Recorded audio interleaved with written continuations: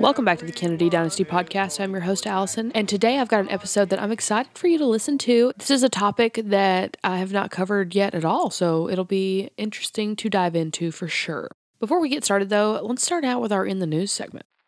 Big news story of the past seven days.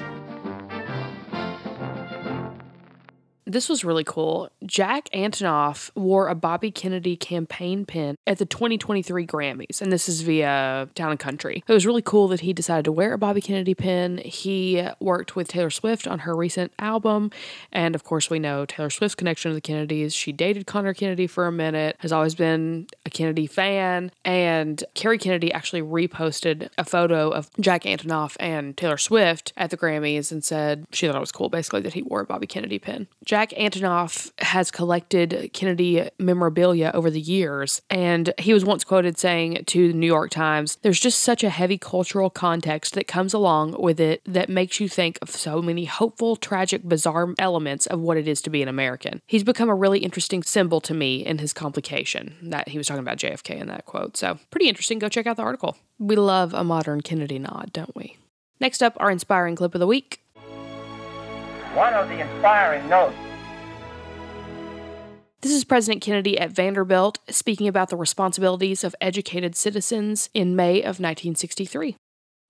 But the educated citizen knows how much more there is to know.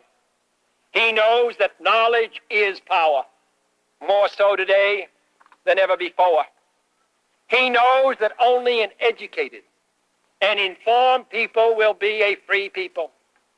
That the ignorance of one voter in a democracy impairs the security of all. And that if we can, as Jefferson put it, enlighten the people generally, tyranny and the oppressions of mind and body will vanish like evil spirits at the dawn of day. And therefore, the educated citizen has a special obligation to encourage the pursuit of learning, to promote exploration of the unknown, to preserve the freedom of inquiry, to support the advancement of research, and to assist at every level of government the improvement of education for all Americans, from grade school to graduate school.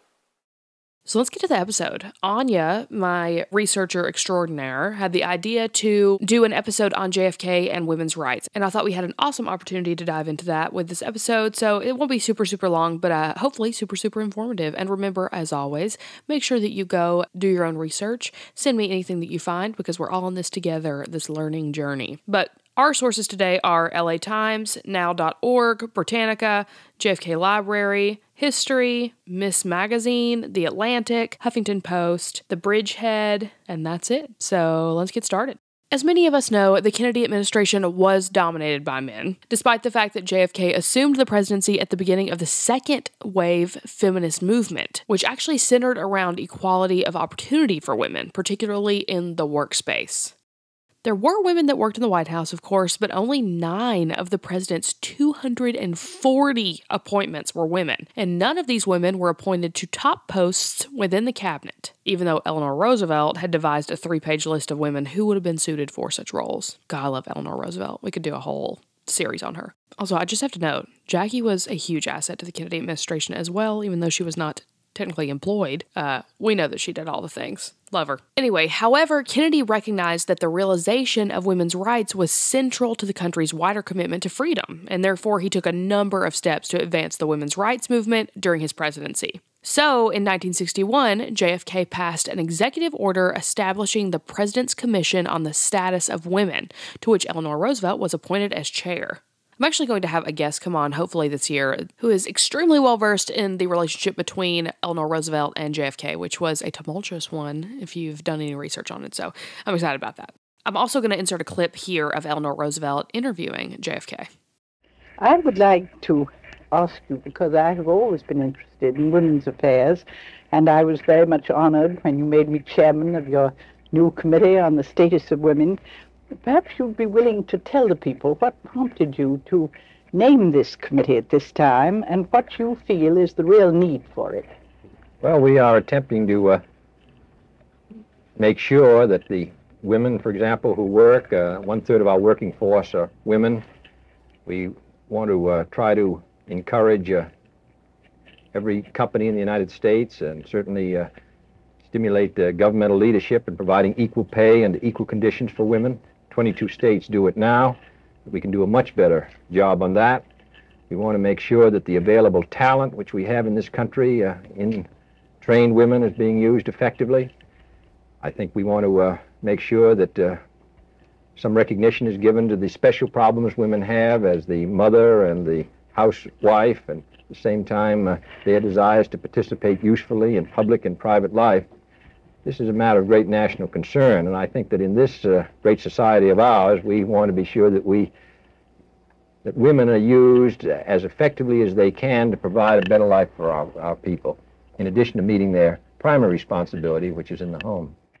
So, JFK had been urged to create a bipartisan commission which was responsible for developing recommendations for overcoming discrimination in government and private employment on the basis of sex. He was urged by Esther Peterson, the director of the Women's Bureau of the U.S. Department of Labor, and the Assistant Secretary of Labor for Labor Standards. The 26 members of the commission included educators, writers, leaders of women's organizations, union leaders, cabinet members, which included Bobby Kennedy, and members of the Senate and the House of Representatives. On the recommendation of the President's Commission on Women's Rights, JFK ordered federal agencies to end employment discrimination on the basis of sex and this was at a time whereby men only and women only positions were being advertised by employers. Can you imagine that? Like, I, st- I know we still got a long way to go, but man, we have come a long way since then. JFK also passed the Equal Pay Act in 1963, an amendment to the Fair Labor Standards Act, which was done in 1968. I'm sorry, 1938, which prohibited pay discrimination in federal jobs on the basis of sex. Now, get this before this, for every dollar earned by a man, a woman would earn approximately 60 cents, but the legislation mandated equal pay for equal work. That is a big pay gap, especially during those times. President Kennedy said that the passage of this legislation, which received opposition from business groups such as the Chamber of Commerce and the Retail Merchants Association, was a significant step forward, but that much remains to be done to achieve full equality of economic opportunity. Nonetheless, it was still one of the very first laws to address gender discrimination. Go JFK! President Kennedy did not adopt the Commission's recommendations to introduce universal child care and paid maternity leave, though it is important to note that the Peterson report was published in October of 1963, six weeks before he was assassinated.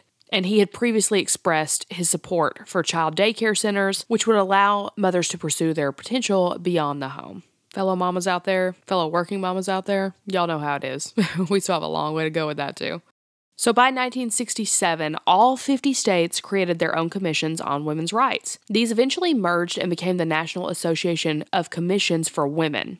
When the President's Commission on the Status of Women was disbanded in October of 1963, JFK signed an executive order establishing the Citizens Advisory Council on the Status of Women and the Interdepartmental Committee on the Status of Women. We do have to note, though, regardless of his commitments to equal pay and opportunities within the workplace, Kennedy still held and promoted the traditional view that the primary responsibility of women is in the home. Also, if you've listened to the Jackie Schlesinger tapes, you know that I love those. She talks quite a bit about that as well. And Caroline Kennedy actually addresses that in the foreword, where she didn't want to edit out her mother's words or edit anything, but obviously times had changed and she felt that her mother would have had a more progressive mindset had it not been recorded in the 60s, essentially. Another thing to note JFK did not explicitly support the Equal Rights Amendment, as it was opposed by the labor unions whose support he depended on. Teddy, however, did support the ERA and was instrumental in ensuring its passage through the Senate in 1972. Although at that time the Constitution still had not been amended, as it had not been passed by three fourths of the states. Now, JFK was assassinated before the Roe v. Wade Supreme Court case and before abortion rights were considered to be a mainstream issue, so his thoughts on the matter are not well documented, though he did once say that abortion would be repugnant for all Americans. Once again, though, Teddy was a prominent supporter of Roe v. Wade despite the opposition of the Catholic Church towards abortion. Now to Boston as we show you live coverage of the debate between Democratic incumbent Edward Kennedy and his Republican challenger, Mitt Romney. I believe that abortion should be safe and legal in this country. I believe that since Roe v. Wade has been the law for 20 years, that we should sustain and support it. And I sustain and support that law and the right of a woman to make that choice. On the question of the choice issue, I have supported the Roe v. Wade. I am pro choice. My opponent is multiple choice. When, uh, Mr. Romney, are you going to tell the people of Massachusetts which health care program you favor? I have a plan. I have a position paper on health care. I'm happy to show it to you, Senator, anytime you'd like. Mr. Romney, it isn't a question of showing me your paper. It's a question of showing all of the people in here that are watching this program the paper. Well, they can get They ought to have an opportunity to know. Yeah, I think it's a, a wonderful idea to, to take it through piece by piece. And, uh, and That's what you have to do as legislator. I, I understand. That's exactly Senator. what you have to do as legislator. The contraceptive pill was also legalized during the 1960s, which that's crazy to me. Like that's not that long ago that that birth control was available in pill form. So that's that's very recent history. I guess I always assumed that it had been around longer, but learned something new. While JFK stated that he opposed birth control due to his religion, he did make it clear that he would not impose his views on others and that he would, quote, not obey restriction of access to contraceptives. Okay, guys, that's all I've got. A lot of information in there. You might want to listen to that twice to be able to pick up all the names of legislation and everything. But um, I hope that you learned something new today. Make sure you send anything else that you learn to me. I always love to learn alongside you. We've got a fun episode coming up next week for President's Day. Jeffrey's going to join me and bring some history, so that'll be fun.